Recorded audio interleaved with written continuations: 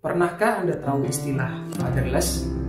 Menurut Komisioner Komisi Perlindungan Anak Indonesia, Retno Listiarti, fatherless diartikan sebagai anak yang bertumbuh kembang tanpa kehadiran ayah, atau anak yang mempunyai ayah, tapi ayahnya tidak berperan maksimal dalam proses tumbuh kembang anak. Dengan kata lain, pengasuhan. Ironisnya, Indonesia menduduki ketiga fatherless country di dunia.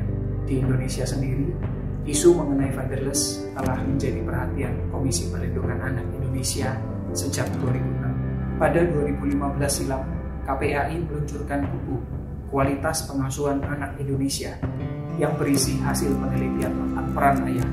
Dari sini kita pahami bersama adanya urgensi bagi ayah dan ibu untuk memaksimalkan perannya masing-masing dalam pengasuhan keluarga. Maka dari itu, pastikan pada Sabtu tanggal 27 Mei 2023 pukul 17 WIB Anda bergabung pada Parenting Learning Series ke-13 yang akan dibawakan oleh Pak Rahmat Reza, seorang pengajar dan penulis buku seri My Fatherless Story.